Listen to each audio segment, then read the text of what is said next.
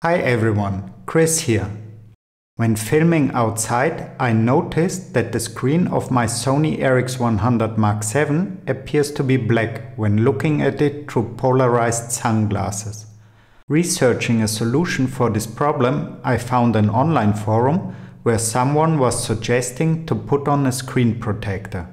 So I decided to give it a try and put this idea to the test. Here's what I found out. First let me demonstrate the problem. If you look at your screen wearing polarized sunglasses, you will see a black screen. If you turn your head sideways, the screen becomes visible.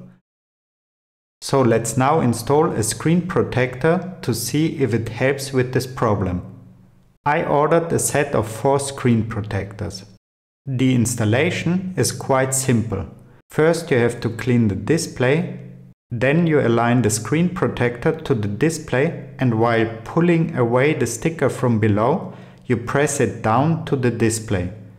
If you see any bubbles, you can wrap a plastic card in the microfiber cloth and push the bubbles out to the side. Okay, that looks good. Now let's test it again outside. To be totally honest, it doesn't change much. The screen becomes a little bit visible, but not enough for using the camera with these sunglasses. But at least I have a screen protector now. If you found this video helpful, leave me a like.